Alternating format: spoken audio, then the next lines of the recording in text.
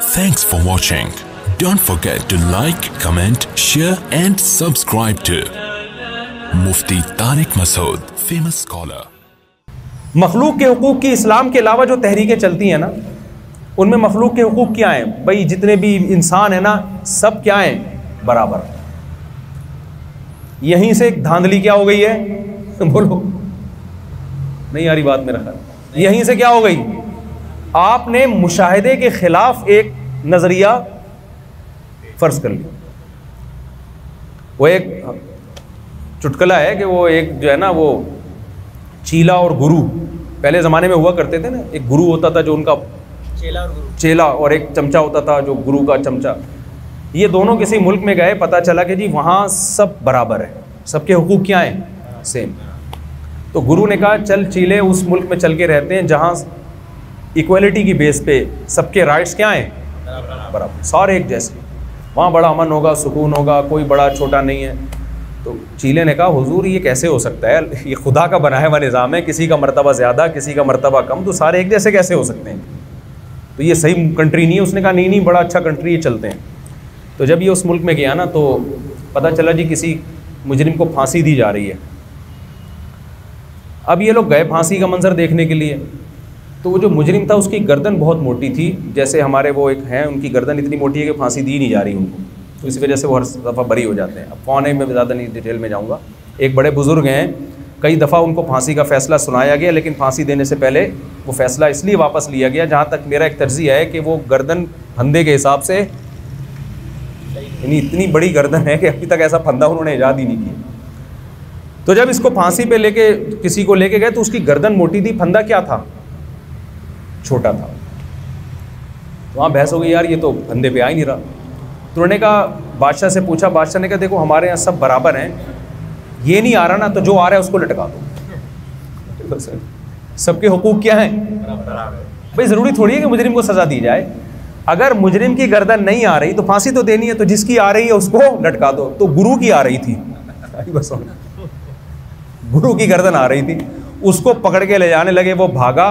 और तोबा की भाई, आइंदा मैं कभी किसी ऐसे कंट्री में नहीं जाऊँगा जिस, जिनमें सबके हकूक़ क्या हैं? बराबर। है ये तो खैर एक चुटकला था समझाने के लिए कि ये नेचुरल नहीं, उन्होंने मर्द और औरत को बराबर कर दिया। क्या कर दिया मर्द और औरत को? सेम हुकूक हैं दोनों के। इस्लाम ने दोनों की देखा कि भाई, ये मेडिकली सेम नहीं है तो हकीकत में कैसे सेम हो सकते हैं? इस्लाम ने कानून बनाया अरजालसा हमने मर्द को औरत पर फजीलत दी है। घर का सरबरा कौन होगा? बोले भाई, मर्द होगा। औरत शोहर के मातहत और ताबे होगी। ग़ुलाम और लौंडी नहीं होगी, मातहत और ताबे होगी। ये बिल्कुल एक नेचर के हिसाब से था।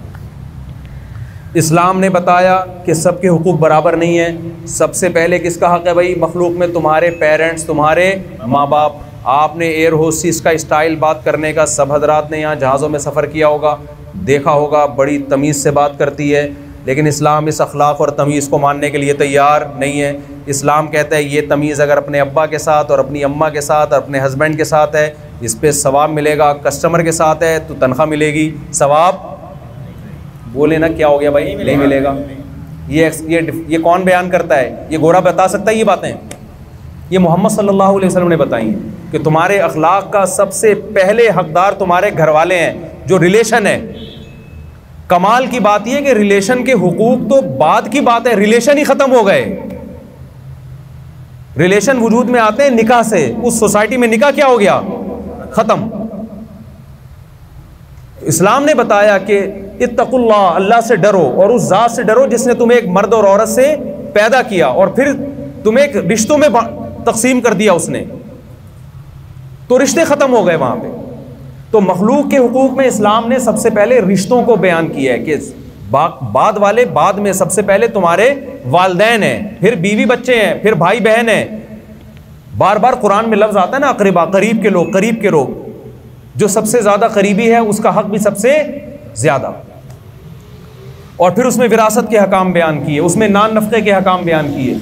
आप हैरान होंगे, यूरोप में आप जाते हैं, सारी जिम्मेदारियाँ स्टेट के ज़िम्मे हैं। वहाँ माजूरों को पालना एक माजूर भाई है भाई की ज़िम्मेदारी नहीं है। उस माजूर की खिदमत किसकी ज़िम्मेदारी है? स्टेट भाई स्टेट का क्या लगता है वो? स्टेट पाल रही है और बड़े अच्छे तरीके से पाल रही है। क्यों पाल रही है? इसलिए कि भाई पालने के लिए तैयार नहीं। अगर स्टेट ना पाले, रोडों पे पड़े हुए होंगे वो माजूर लोग। बूढ़े माँ बाप को वहाँ कौन पाल रहा है? औलाद पालती है? ना ना ना स्टेट हालाँकि स्टेट ने ना जना, ना स्टेट ने पैदा किया, ना इनकी पैदाइश पे स्टेट को खुशी हुई। स्टेट में जो हुक्मरान है वो पाँच पाँच साल के लिए आ रहे हैं और जा रहे हैं। स्टेट एक कानून शख्सी है जिसका हकीकी वजूद नहीं होता। एक लीगल पर्सन जिसे कहा जाता है, एक फर्जी पर्सन है। उस फर्जी पर्सन के वो बूढ़े माँ बाप को भी पाल रहा है, वो वो फर्जी पर्सन जो है वो औलाद को भी और माजूरों को भी पाल रहा है। तो आप बताओ, रिलेशन फर्जी शख्स से बढ़ रहा है आपस के रिलेशन क्या हो रहे हैं? आहिस्ता आहिस्ता ख़त्म हो रहे हैं। इस्लाम है, जिसने बताया है वारिस मिसलुजालिक कोई ख़ानदान में माजूर हो, कमा नहीं सकता तो उसका नान नफ़ा उसके वारिसों पर है। जिस, देखा जाएगा ये मर जाता तो इसके किस वारिस को कितने परसेंट मिलता? तो उतना ही नान नफ़ा उतने ही परसेंटेज के हिसाब से इस्लाम ने डिवाइड किया, उसके रिलेटिव और रिश्तेदारों पे डिवाइड किया है। माँ बाप का खर्चा डाला है, औलाद के ज़िम्मे। तो ये ये जो रिलेशन का एक निज़ाम पेश किया, ये किसका पेश करता निज़ाम है? ये इस्लाम का और मोहम्मद सल्लल्लाहु अलैहि वसल्लम का। इससे आपस में रिलेशन मज़बूत होते हैं और मोहब्बतें आपस में मिलती हैं। गोरों का बुढ़ापा बहुत ख़तरनाक, जितनी जवानी उनकी अयाशी में गुजरती है ना, उतना ही ख़तरनाक उनका बुढ़ापा होता है। मैं तो एक बात लोगों से बार बार कह रहा हूँ, मैंने गोरों में बूढ़ी औरतों को कुत्तों से दिल बहलाते हुए देखा है। मैं यहाँ लिबरल अंटियों से कहता हूँ कि अल्लाह मियाँ ने कुत्ते का बेहतरीन ऑल्टरनेट मियाँ दिया है आपको। जवानी में शादी करके मियाँ को पाल लो। ये बुढ़ापे में बगैर दुम के कुत्ते का अस्तफरल्ला ज़्यादा हो गई। यानी हकीकत तो यही है ना? गलत तो नहीं कह रहा। ना औलाद हो रही है, ना मियाँ बुढ़ापे में कुत्ते। और इस पर खुश होते हैं कि गवर्नमेंट हमें इतना दे रही है। गवर्नमेंट तुम्हें मोहब्बत थोड़ी दे सकती है। तुम्हारी तन्हाई थोड़ी दूर सकती, दूर कर सकती है। तभी इस गैर फितरी तर्ज हयात का ये नतीजा है कि ख़ुदकुशियों का रेश इतनी तरक्की के बावजूद यहाँ से कई गुना ज़्यादा है। इस्लाम, कुरान क्या कहता है? फितरत अल्लाती फ़तरन्नासालिहा इस्लाम नाम है उस फितरत का, उस नेचर का, जिस नेचर पे अल्लाह ने इंसानों को पैदा किया। तो जो दावा किया, कानून उसी दावे के हिसाब से दिए इस्लाम। समझ में आ रही है बात के लिए? ये तो मुख्तसर मैंने हुकूक लिबाद की बात की है। इसी तरह इस्लाम में अल्लाह के हकूक़ की बड़ी वैल्यू है। हम जब दूसरी कौमों की तरफ़ देखते हैं तो उनकी डिक्शनरी से अल्लाह का लफ्ज़ क्या हो गया? बोले, सिर्फ़ वो माई गॉड की हद तक रह गया जब कोई टेंशन हो माई गॉड बस। इससे ज़्यादा गॉड से रिश्ता क्या है? ख़त्म। जबकि इस्लाम बताता है कि जैसे माँ बाप का रिश्ता सबसे करीबी, क्योंकि उन्होंने आपको जना, उससे भी ज़्यादा रिश्ता आपका खालिक के साथ है, जो क्रिएटर है, जिसने आपको पैदा किया, उसके क्या हुकूक़ हैं, ये बयान करने से भी मोहम्मद सल्लल्लाहु अलैहि वसल्लम के अलावा दुनिया में जितने लोग हैं, वो ये बयान और एक्सप्लेन करने से कासिर हैं। अल्लाह ने बताया और मोहम्मद सल्लल्लाहु अलैहि वसल्लम ने बताया कि जो खुदा है ना, उसके हुकूक कैसे अदा होंगे? एक तो उसने बताया कि मखलूक का हक भी असल में खुदा ही का हक है। आप मखलूक पे जब खर्च करते हैं तो ये भी किसके हुक्म पे? आप माँ बाप की खिदमत कर रहे हैं तो ये माँ बाप का नहीं है, ये हक किसका है? अल्लाह का है। गॉड की वजह से कर रहे हैं आप। सूर्य दहर में आप देखें ना इन नमा नुतमुकुम ला नुरीदुमिनकुम जजा वला शुकूरा। कुरान कहते हैं, हमारे नेक बंदे जब गरीबों को खिलाते हैं तो खिलाते हुए कहते हैं कि हम तुम्हें खुदा के लिए खिला रहे हैं, तुम्हारे लिए नहीं खिला रहे।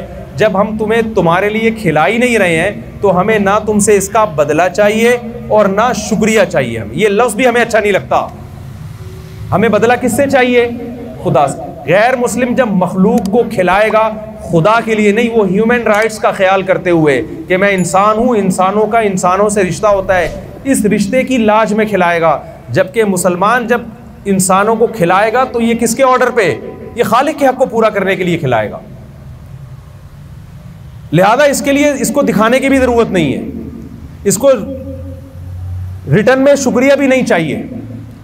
आप देख लेना, लोग एक बहुत इश्काल करते हैं कि पाकिस्तान में लोग टैक्स नहीं अदा करते, ज़क़ातें दबा के अदा कर रहे हैं।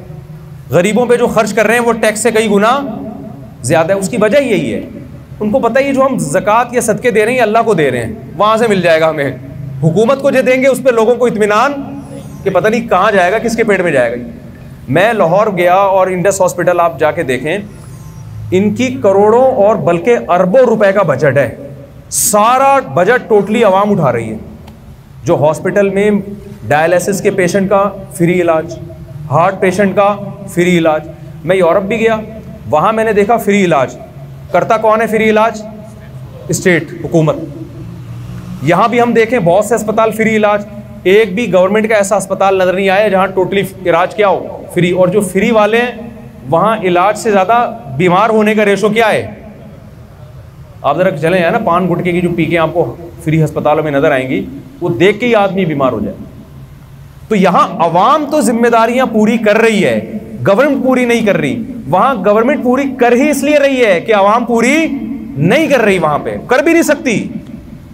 क्योंकि बड़े बड़े अस्पतालों को चलाने के लिए जो मोटिवेशन चाहिए वो मोटिवेशन मज़हब तो आपको दे सकता है, वो हुकूमतें आपको वो मोटिवेशन नहीं दे सकती। मुमकिन है लोग कहेंगे यार फला अस्पताल वहाँ भी चला रहे भाई इतना पैसा जो गुर्बत यहाँ है ये गुर्बत थोड़ा पार्सल करो ना वहाँ पे, फिर देखो चला सकते हैं कि नहीं चला सकते।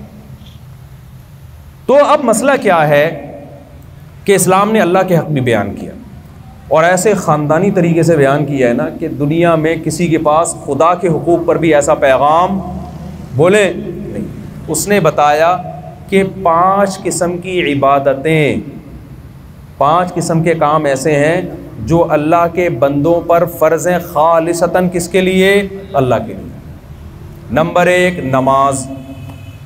आप मुझे बताओ, नमाज़ जैसी इबादत आपको दुनिया में किसी मज़हब में नज़र आती है क्या? जिसमें आप दांत साफ़ करें, लिबास को पाक करें टाइमिंग भी कितनी बेहतरीन। सुबह सुबह आप उठें जिस बहाने मुसलमान को सुबह उठना पड़ता है मेडिकली देखा जाए कोई उंगली उठा सकता है इसके ऊपर नमाज़ का टाइम ऐसा रखा है जो मेडिकली इंसान की सेहत से मैच बोलो ना। नहीं करता। क्योंकि कोई कह सकता है? बल्कि डॉक्टर से पूछेंगे यार सबसे बेहतरीन टाइम सुबह उठने का कौन सा है? सुबह का टाइम और तहजद में उठे तो और अच्छा है। इस्लाम ने अगर रात को दो बजे या ढाई बजे नमाज़ रखी होती बहुत से डॉक्टरों को इश्काल हो सकता था, भाई, ये टाइम ऐसा रखा है तो गहरी नींद का टाइम है तो सेहतें बर्बाद इसी वजह से हो रही है कि तुम नमाज़ पढ़ते हो। टाइम ऐसा रखा गया है जो हमारी नेचर और फितरत से मैच करता तरीक़ा ऐसा रखा गया है, वज़ू करो, दांत साफ़ करो, तहारत हासिल करो, ये गसल तो ये तमाम जो पूरा प्रोसेस है, इससे बेहतर प्रोसेस इबादत का कोई ला सकता नहीं है। समझ में आ रही बात की नहीं यार दूसरा हुक्म दिया नमाज़ के बाद ज़क़़त का। है ये मखलूक के लिए, लेकिन इसको हक किसका करार दिया गया है? अल्लाह यू खदुमिन अगनियाम व तो रद्दू इला फ़ुकाराम मालदारों से ली जाएगी और उसी कौम में गरीबों पे तकसीम कर दी जाएगी। इतना बेहतरीन निज़ाम ज़क़़त का रखा।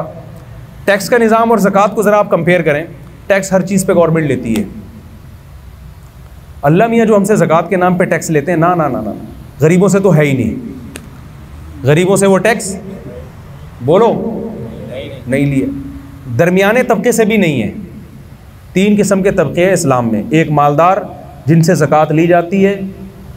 दूसरा गरीब, जिनको ज़क़़त दी जाती है। तीसरा दरमियानी तबका, कि ना ली जाएगी और ना इनको दी जाएगी। ना ये गरीबों की कैटेगरी में आते हैं कि ज़क़़त ले लें, और ना इतने मालदार हैं कि इनसे ज़क़़त ली जाए। फिर जिन मालदारों से ली जाती है, उसमें कितनी आसानी रख दी? उस माल में ली जाती है जो बढ़ने वाले अम्बाल हैं।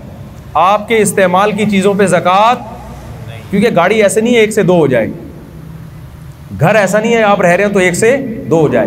तिजारती माल पे जो बेचने के लिए ख़रीदा हो, जो चीज़ें बेचने के लिए ख़रीदी जाती हैं, वो एक से दो दो से चार चार से आठ। तो अल्लाह ने कहा, इनमें ग्रोथ है। लिहाजा इनमें साल में सिर्फ़ एक दफ़ा ढाई परसेंट तुमने मेरा हक मुझे देना है और देना किसको है? गरीबों पे खर्च कर देना। तो आप बताओ, इससे ज़्यादा बेहतरीन कोई निज़ाम, माली, मालियात का निज़ाम हो सकता है क्या? कोई निज़ाम नहीं हो सकता। तीसरा, अल्लाह ने क्या हुक्म दिया? सऊमु रमज़ान पहला जो था, वो तो तोहीद है, जो पाँच अरकान में से, कि अल्लाह के साथ किसी को शरीक ना किया जाए, क्योंकि दुनिया में कोई रियासत ऐसी रियासत नहीं है, जो कहे कि आप हमारी स्टेट में रह के दो रियासतों के कायल हों। तो पहली तो इब्तदाई तोहहीद से होती है ना कि जब एक है तो खुदा क्या है? बस एक ही है, उसी की मान के चलना है। तीसरा चौथा हुक्म इस्लाम ने दिया है रमज़ान का। चौथा हुक्म क्या दिया है? रमज़ान। जिसके इस्तबाल पर आज मैंने बयान करना था, लेकिन मेरे बयानात में हमेशा तमहीद लंबी होती है और टॉपिक पर बात कम होती है, क्योंकि उस तमहीद के बगैर मैं अगर टॉपिक पर बात करूँगा ना तो वो पाँच मिनट की बात भी कोई पाँच घंटे में भी समझ में नहीं आएगी। और जब तमहीद लंबी हो जाती है तो फिर वो पाँच मिनट की बात भी इन पाँच मिनट में समझ में आ जाती तो उन्हीं में से अल्लाह मियाँ ने एक हुक्म ये भी दिया है कि मेरे जो मुझे मानते हैं, और ये मानते हैं कि इस कायनात को मैं चला रहा हूँ, इस कायनात का बनाने वाला मैं हूँ तो ये खाली पीली के दावे मैं कबूल नहीं करूँगा कुछ करके दिखाना पड़ेगा जिससे पता चलेगा कि वाकई तुम मुझे मानते हो। आप जब किसी से मोहब्बत का दावा करें तो फ्री फोकट के दावे आजकल चलते हैं? आप बेगम से कहें मुझे तुमसे बहुत ज़्यादा मोहब्बत है बहुत ज़्यादा बेगम मैं बस मुफ्ती तारिक मसूद के इतनी दफ़ा बयान सुन चुका हूँ फिर भी मुझे कभी दूसरी शादी का ख्याल नहीं आया क्योंकि मुझे तुमसे बहुत ज़्यादा मोहब्बत है। बार बार आप ये दावा करो वो कहे चले जी आप मुझे आज पिज़्ज़ा खिला दें। चलें, आज बाहर होटल पे चलते हैं आप कहें पैसे नहीं है ये टेंशन अभी टाइम नहीं है मेरे पास। रोज़ाना ये दावे करते हो, लेकिन उस दावे को साबित करने के लिए रोकड़ा आपकी जेब से कभी भी नहीं निकलता। तो एक दिन गुस्से में आ जाएगी ना कि कुछ और बोल दिया करो, ये मोहब्बत के दावे। यही होगा ना। ये दावे शावे ना किया करो। तो गैर मुस्लिम भी खुदा को मानते हैं बहुत सारे लोग। खुदा है, बनाया है तो क्या करें बनाया है तो। कहते हैं कुछ नहीं करो, करना वही है जो आपकी समझ में आ रहा है। तो अल्लाह कहते हैं, ऐसे मानने को मैं मानता नहीं। लिहाजा अल्लाह ने पाँच टाइम नमाज़ रख दी है, वो आपको पढ़नी पड़ेगी। अल्लाह मियाँ ने ज़क़़त रख दी साल में एक दफ़ा। अल्लाह मियाँ ने रमज़ान के बोलो, रोज़े रख। कि ये सबूत देने के लिए ना कि हम खुदा को मानते हैं, आपको एक महीना सुबह सादिक से लेके गुरूब आफ्ताब तक भूखा प्यासा रहना पड़ेगा। उसमें ये छूट रख दी कि बीमार और मुसाफिर उससे क्या है? मुस्त ये भी नेचुरल है। वरना बीमारों के लिए कितना बड़ा अजाब बन जाता है रमज़ान का रोज़ा। कितनी बड़ी टेंशन बन जाती है। तो वो दो दो को क्या कर दिया? कि खारिज कर दिया। आसान रखा उसने। लेकिन खूब समझ लें अल्लाह के अहकाम आसान तो होते हैं लेकिन उसमें लचक नहीं होती। मिसाल के तौर पर वज़ू के लिए पानी नहीं है तो तयम करना पड़ेगा आपको।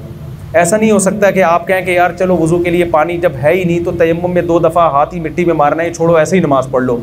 आप कुछ भी करेंगे, ऐसे नमाज़ आपकी कबूल नहीं होगी। और ये भी नहीं हो सकता कि यार चलो छोड़ दो आज।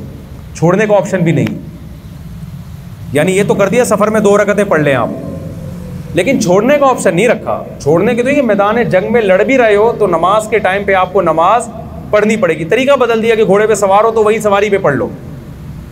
इससे पता चलता है कि इस्लाम के अहकाम में आसानी है, जितनी अल्लाह ने डाल दी। उसके बाद नो का ऑप्शन आपके पास नहीं रहता। हमारे यहाँ बहुत से लोग रमज़ान में ये करते हैं कि जी, चूँकि अल्लाह ने मुसाफिरों को छूट छूट दे दी है, बीमारों को छूट दे दी है, इससे खुद ये नतीजा निकालने लगते हैं। इसका मतलब अल्लाह बड़ा गफूर रहीम है। कोई टेंशन हो तो छोड़ सकते हैं आप। ना ना ना ना ना ना ना। सफ़र और बीमारी के अलावा अब छोड़ने का ऑप्शन आपके पास नहीं शदीद तरीन गर्मी है, नहीं छोड़ सकते। आप मजदूर हैं, आपने दोपहर गर्मी में कुआँ खोदना है तो भी आप रमज़ान का रोज़ा नहीं छोड़ सकते। ये इस उज़र को उज़र माना नहीं गया है। लोग अक्सर हमसे पूछते, गर्मी के रोज़ों में ख़ास तौर पे ज़्यादा पूछा करते थे कि एक मज़दूर दोपहर को कुदाल चलाता है, कुआँ खोदता है, वो तो नामुमकिन है कि रखे वो रोज़ा। वो तो मर जाएगा प्यास से।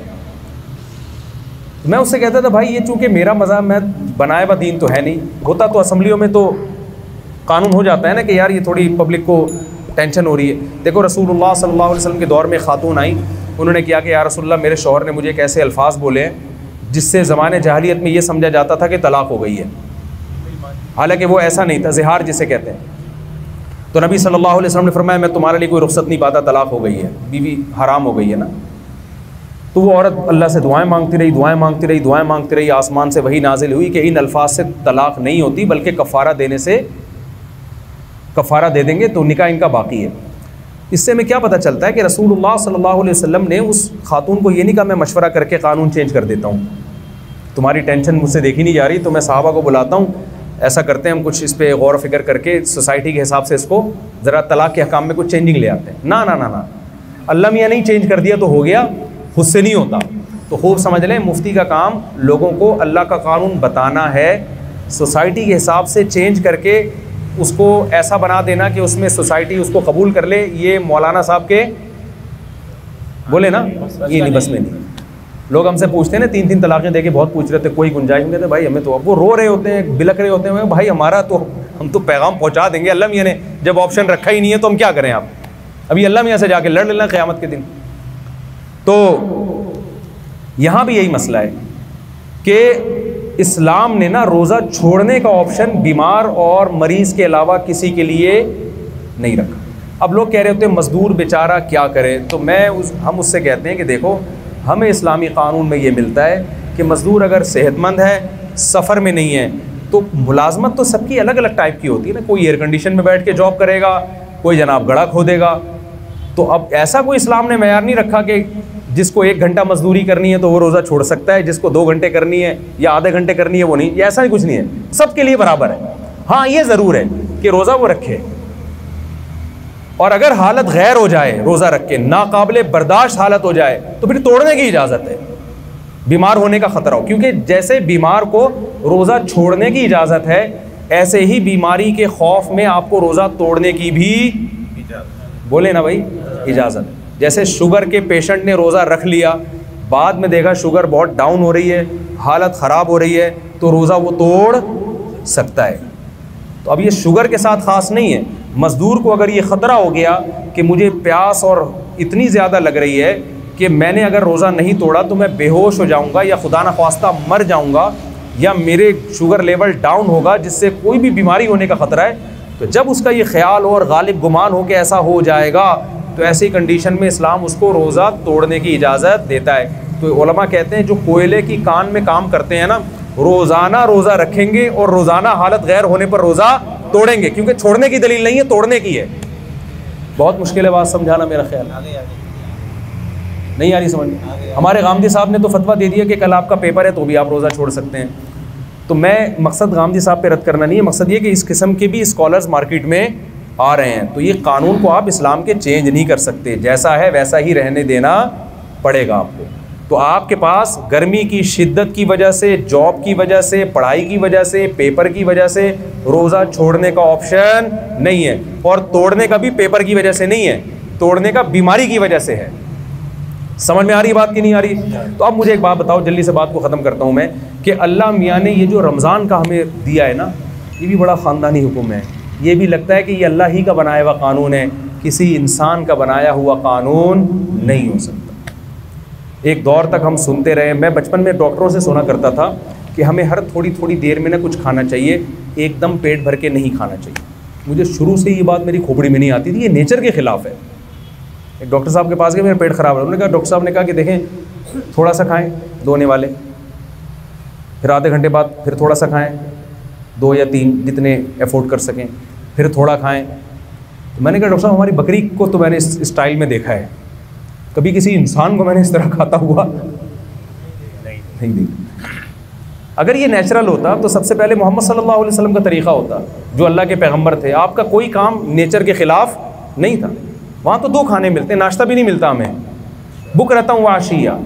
आप सल्लल्लाहु अलैहि वसल्लम दोपहर से पहले खाया करते थे साहबा के दौर में और मगरिब के बाद खाया करते थे। ये दो टाइम थे खाने के। नाश्ते का लफ्ज़ अरबी डिक्शनरी में आपको नहीं मिलेगा। हालाँकि अरबी बड़ी फसी और बलीग ज़बान है। फतूर जो आज अरबी में है ये जदीद अरबी में है। फतूर नाश्ते को कहते हैं। कदीम अरबी में नाश्ते का लफ्ज़ बोले? नहीं बल्कि मैं और आपकी जनरल नॉलेज के लिए एक बात बताऊँ। अंग्रेज़ के बर्र सग़ीर में आने से पहले आपको अपने बाप दादा की डिक्शनरी में भी ना, नाश्ते का लफ्ज़ नहीं मिलेगा। ये अंग्रेज़ों ने नाश्ता मुतारफ़ करवाया है। समझ में आ रही है बात कि नहीं आ रही? है तो ये था ही नहीं। ये मुसलमानों में आया, गोरों के आने के बाद है। चाय भी, सिगरेट भी, गुटके भी, पान भी, ये सारी चीज़ें ये अंग्रेज़ों के आने के बाद आई हैं, वरना मुसलमान कल्चर इन तमाम चीज़ों से क्या था? वो पाक था। वो नहीं, वो जानते ही नहीं थे ये क्या होगा तो चाय पिए ना, मैं भी पीता हूँ, मैं ये नहीं कि छोड़ दें आप, या पिए ना पिए, वो आपका हेडेक है। बताने का मकसद ये कि ये सारी चीज़ें हमारे, ये बाद में आई हैं, ये हमारा कल्चर नहीं है। तो उनमें नाश्ता भी बाद में आया है। दो टाइम का खाना है। अब सुना है डॉक्टर यही कह रहे हैं कि दो टाइम खाया करो, तमीज़ का खाना यही होता है, दो टाइम का। वल्ला वालम ये डॉक्टरों की फ़ील्ड है कि डॉक्टर साहब से ही पूछें आप।